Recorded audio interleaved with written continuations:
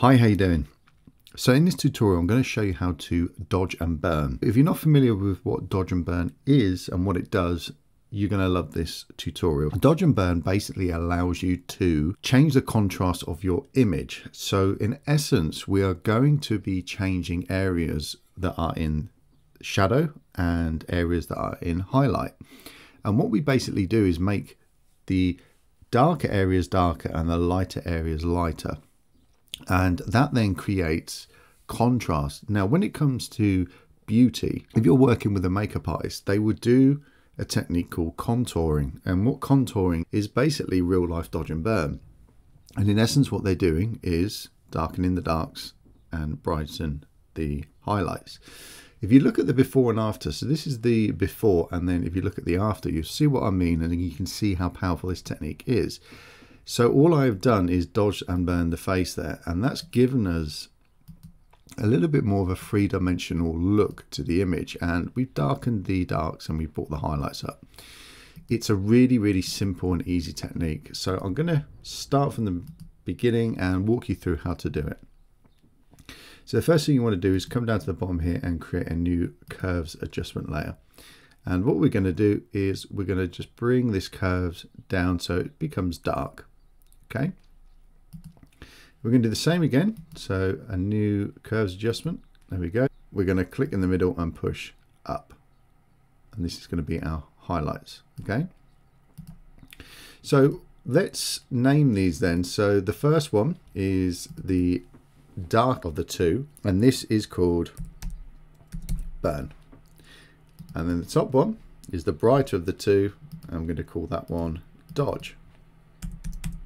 So if you ever get confused about what dodge and what burn, which one is which. So burn is just, imagine something that's been burnt, it's going to be darker.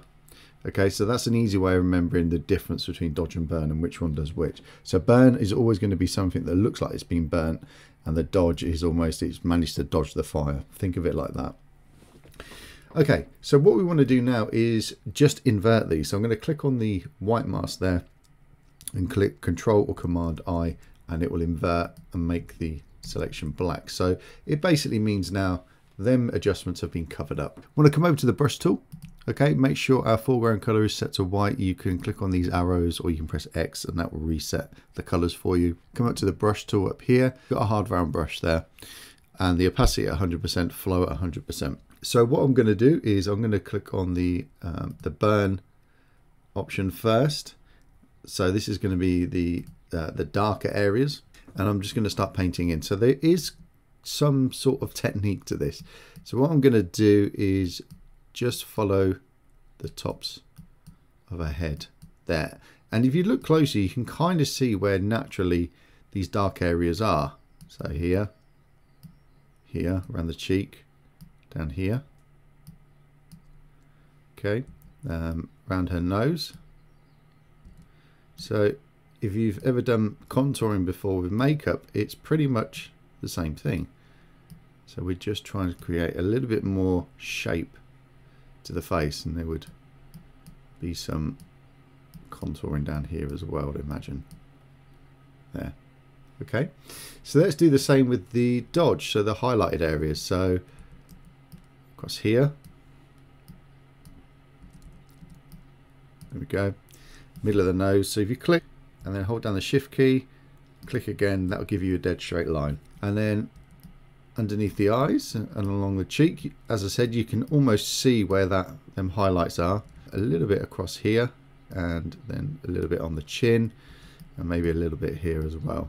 So that's kind of our contouring. We could maybe even just add a little bit up here as well across the eyebrows. There we go. Because I can see where that light is hitting. So now all we need to do is to blend this because obviously we, this isn't going to be the final image. So let's start with the dodge because we're, we're on that. So all you need to do is come to the actual layer there and just double click on it. This will load up the properties panel. And once that's loaded up here, all you want to do is come to where it says feather and just start increasing it. So as you start increasing it, you'll see that they start to blend. And when we get to a certain point, they will start to blend perfectly and just give you enough of a effect that it works. There is a tipping point with this. You can go too far.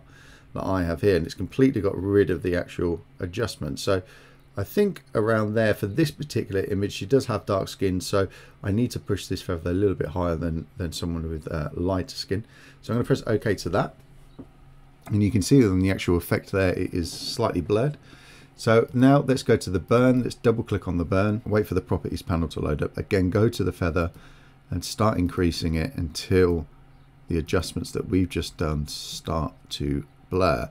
Now again there will be a tipping point with this where the effect will start to disappear which it has there. So I'm just going to bring it back slightly until I'm happy. So I would say there. You can play around and uh, really refine the actual detail. So let's press OK. And there, we've now got dodge and burn to the face. And it's the same technique as contouring. So let's group these together. So just click on the top one, the top one there, it says dodge. Hold the shift key down. Select the burn layer underneath and then press Control or Command G to group them together and that could be your dodge and burn folder there so let's have a look at the before and after so this is obviously the after here's the before and you can see what that has actually done it's created more contrast to the image it's really brought out them highlights and really darkened down them them shaded areas you can see the the dark areas now obviously you can go back you can just click on the layer again and you can change the adjustment. Now it will reset to zero, but don't worry because if you carry on increasing that, it will still increase that, that particular effect. So don't worry too much. I hope that's made sense. I hope you've enjoyed that and you can start trying this on your images. It's a really simple process.